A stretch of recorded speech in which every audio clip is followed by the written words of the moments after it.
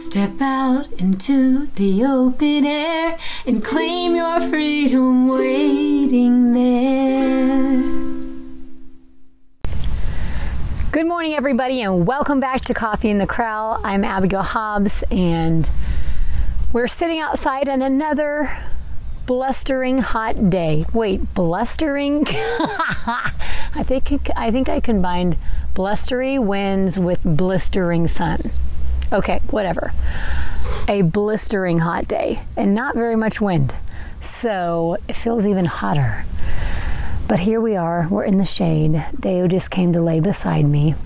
Fayan is standing out in front of me just a little bit, looking really calm. I think she's going to take a nap.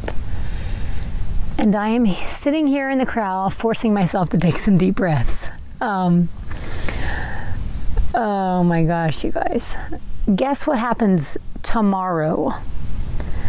Which I guess when this podcast comes out is tomorrow. So when you are listening to it, it'll be today. Anyways, my girls are starting public school for the first time in their life. And then the day after that, Wednesday, my son leaves early in the morning to go to college. He's going to college in Illinois, so he'll be seven hours away from us. I'm excited for him, and it's just a lot of big changes for our family. So I'm feeling overwhelmed this week. I didn't even know if I was going to make it to come out and podcast today because um, it's going to be a crazy day today. It's been a really crazy week leading up to this, trying to um, get all the kids their school supplies and all the stuff that Jaden's going to need for college, and then um, my oldest daughter attended a, um, well, it was for freshman students, but it was also for new students, like an orientation. She'll be going in as a sophomore, though.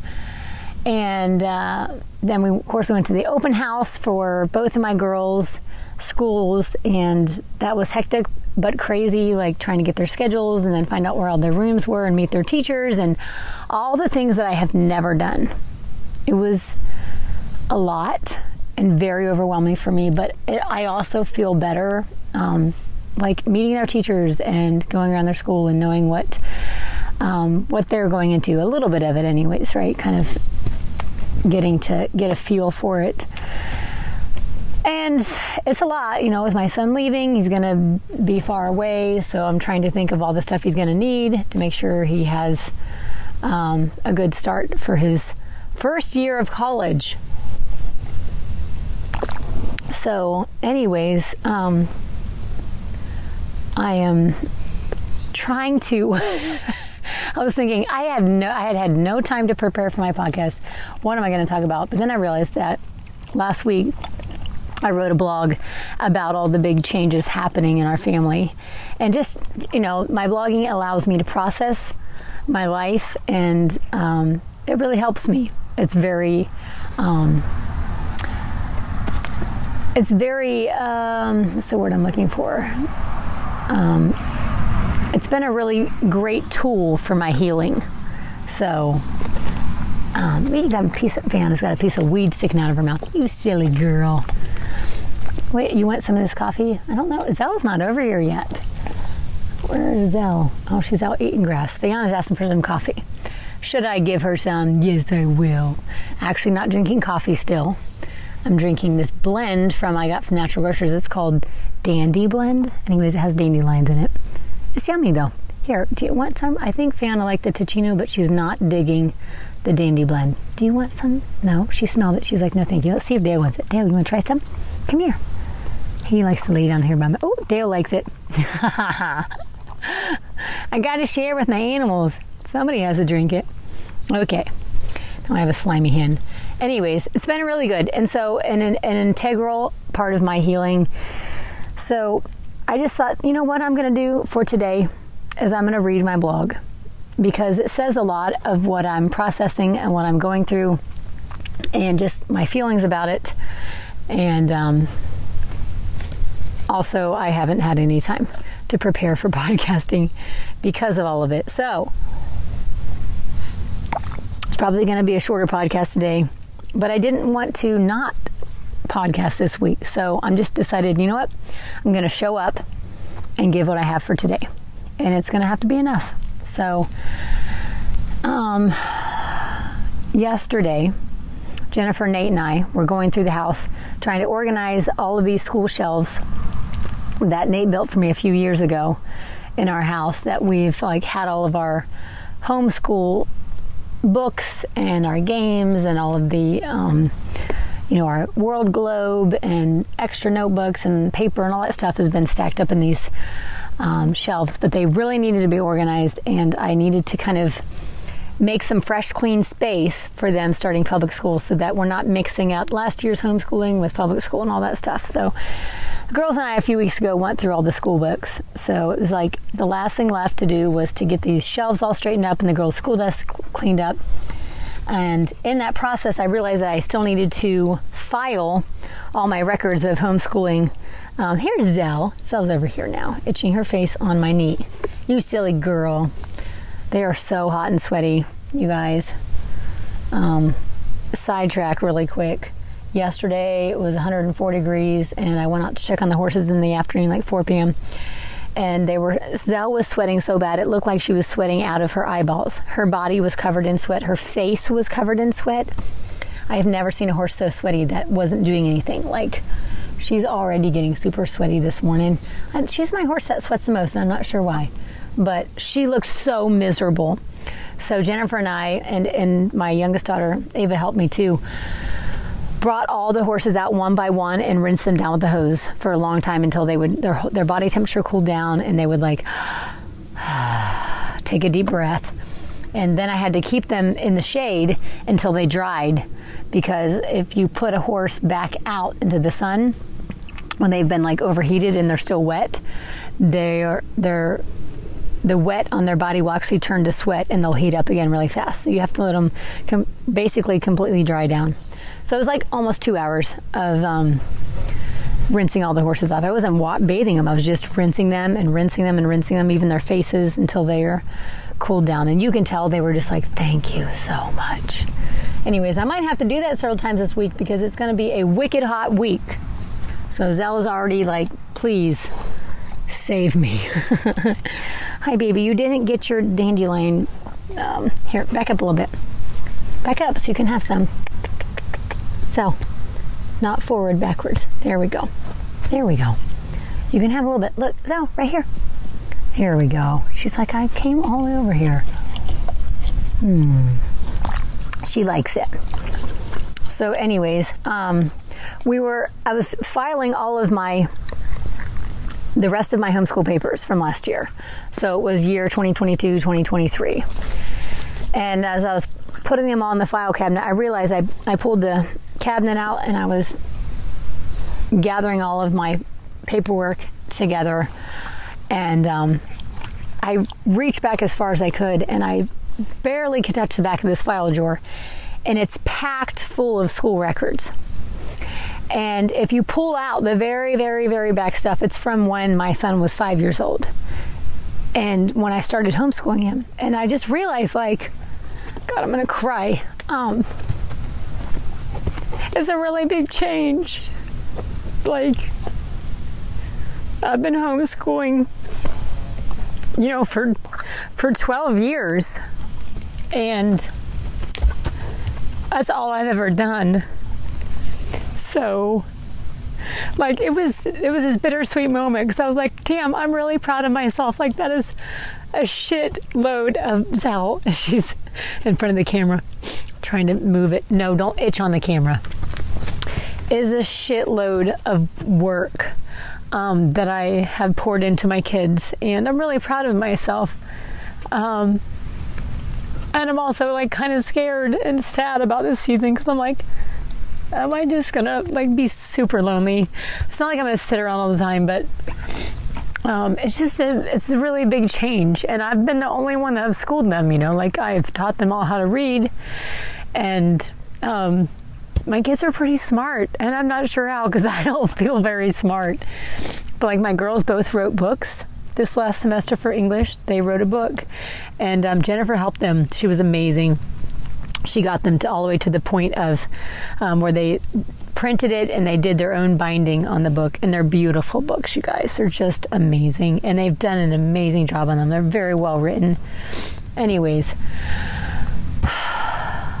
it's just i know it's time but it's hard. Like i just wanted like for me it was like wow like i've got all of their um, and of course i don't keep all of their papers but i have you know papers and and school from 12 years ago um, that I've kept as records for them. And I've kept really good records for my kids because I thought if anybody ever doubts my kids' schooling, like I will be able to pull out so much and be like, here, look at all of this.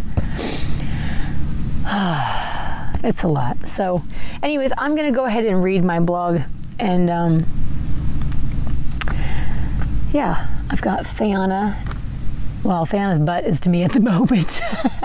She's like, I'm here for you. I, I'm like, you know, with my butt. I don't know. And Rayan is over here, and then Zelle's behind me, and Sky is over by the tree. So you, I don't know if you can see her in the camera at the moment, but all my horses are here um, supporting me, and so I guess I'll read. There's a truck fixing to drive by, but it's not too usually too loud. Our neighbors have um, cattle ranch right next to us, so which is cool because we get to see cows all day long.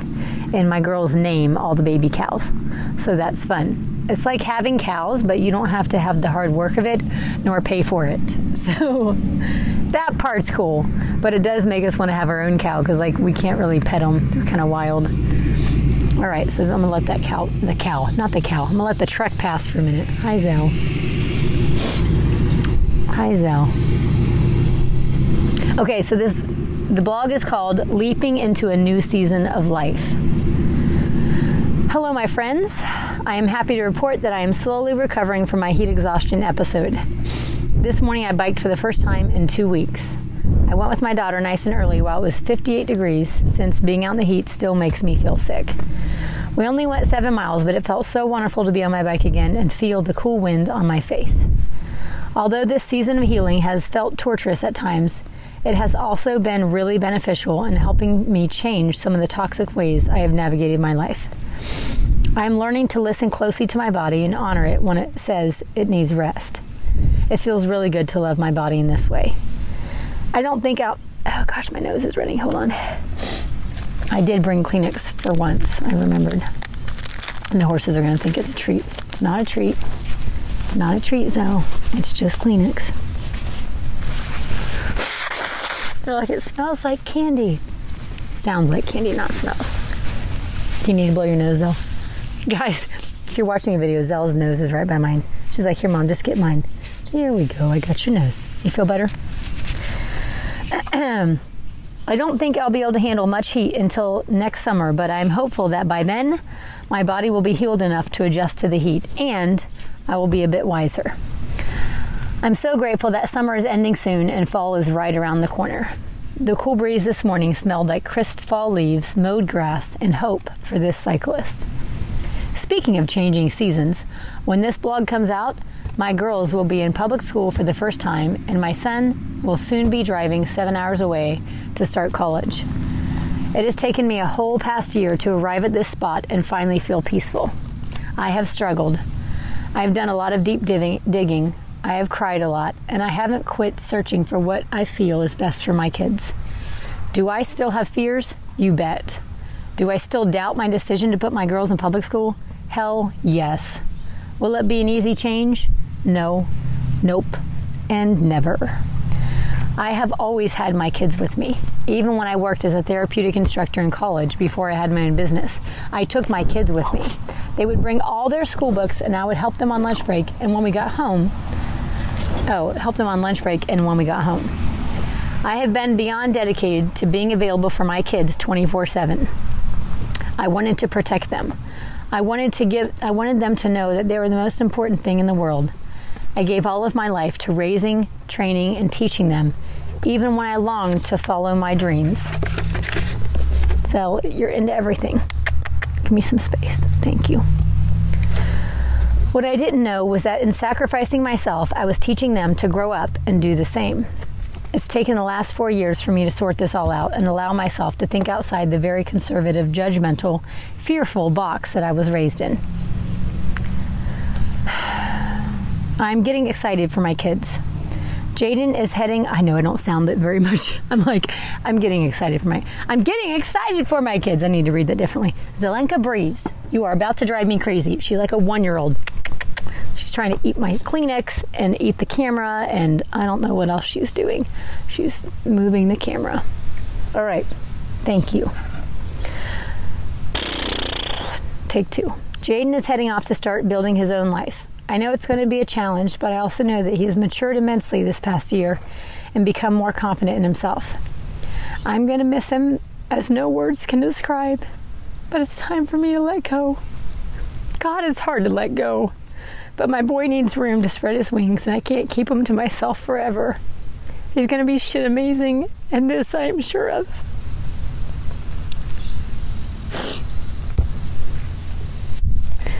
My girls are ready. They're ready to explore and discover new opportunities, make new friends, and put their values to practice.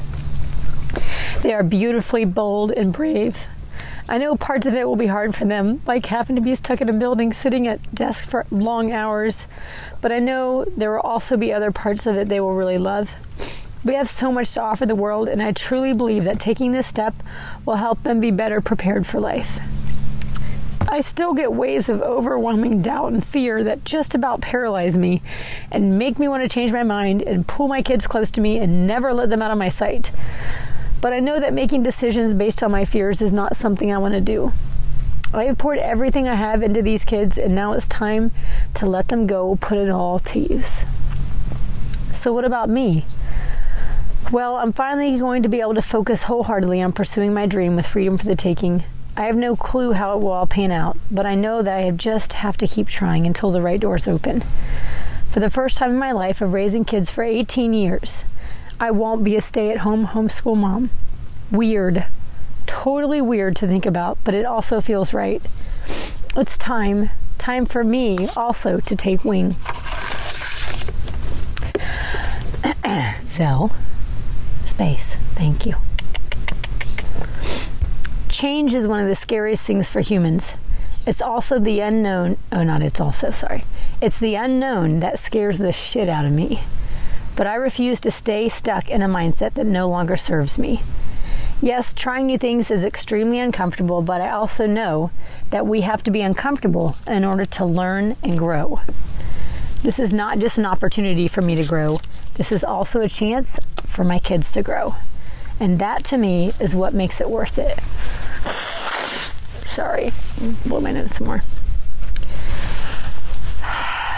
I think that's all for today, my friends. I'm so proud of my kids. I'm also really proud of myself. I'm a whole different person than the woman I was four years ago. Navigating life isn't easy for any of us, but here we are, doing the hard work and continuing to show up. For those of us whose lives are changing with the seasons, I'm sending you a huge hug. Thank you, Zoe. We got this one day at a time. I love you guys. And then I have all my crazy hashtags at the end that you're just going to have to suffer through. hashtag embracing the seasons. Hashtag I love my kids. Hashtag change is hard. Hashtag public school. Hashtag new opportunities. Hashtag taking the leap hashtag mom of a college student, hashtag holy shit, I'm going to be lonely, hashtag if you see a lady sitting all day in her corral crying the whole first week of school, it's probably me. That's it. If you guys want to read this blog, you can go to bike2type.com and it will be posting tomorrow the same time my podcast post at 6 a.m. Anyways, I love all of you change is hard. I was talking to Jennifer about this, you know, even good change. And I truly believe that these are all really good changes. But when they're so big and they're so different from anything you've ever done, they're still hard. I mean, change is one of the hardest things that humans go through in life. Like mentally, emotionally, physically, it's really hard on us, but it's also one of the most healthiest things. So there's two sides of the coin. It's extremely hard. It's can feel sometimes unbearably hard. But the flip side of the coin is it's so healthy. If it's the change that is going to help us continue growing and evolving in our lives, then it is beautifully, wonderfully designed to help us thrive in our lives. It, helps our brain, which in turn helps our body. And I want to be that person that challenges myself and that puts my continually puts myself in uncomfortable positions so that I can change and grow and evolve. And so I know this is really important. It's just really emotional for me and hard, but I'm not, you know, I've decided that those things don't get to be the the, the factors that make me to decide yes or no, just because it's really hard or really scary. Um, that's why I've taken a long time. You know, we took all last year to talk about it. Nate, Jennifer, and I have been talking about it for a year. And I went to the schools and met with the principals and the counselors with both of my kids and got a tour and just took a long time to talk about it with our kids and think about it. And I feel really good. Like I've arrived at it feeling very as I guess as prepared as I can be, and um, you know, like I needed to. I didn't want to go into it blindly. Um, I wanted to know. I wanted to be educated about it, and make sure that my girls felt good about it too. So it's good. It's really good. Um, but yes, it's hard. So I'm sending huge hugs to all of you guys this week. The seasons are changing.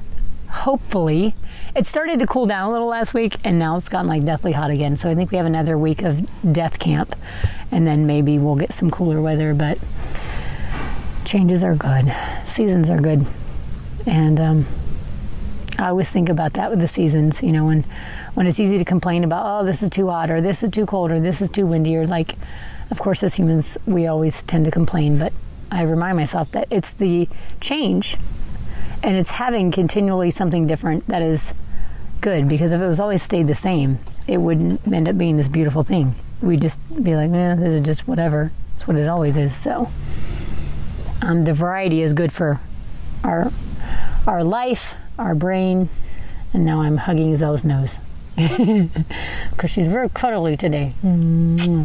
She's very snuggly. I love you guys. Okay, enough of that. I will see you next week, and uh, yeah, we'll check in to see how our first week of school went and everyone else's um, kids are going to school, starting school if you haven't already. So, um, lots of love to you. I know this is a stressful season for moms trying to get their kids prepared and all their back to school stuff. So, you guys are awesome. If you're a mom, you're super awesome. okay. Peace out. Love you. Psst. Did you think that this episode was cool? Because I did. I think you should just share it with one friend. Thank you so much. Bye. If I wrote it in a song, would you believe it more? If I busted out the lock, would you open the door? If I dare to speak my truth, would you still value me?